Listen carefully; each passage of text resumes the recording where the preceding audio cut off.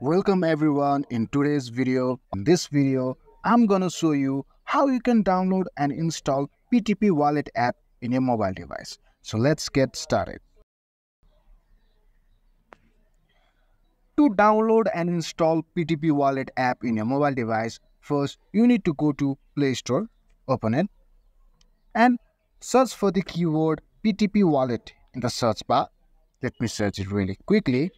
And you can see the PTP Wallet app in the search result of the search. Just click on it and then simply click on the install button.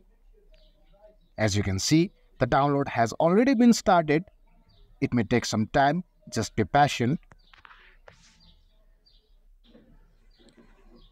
And the download and installation process has been complete.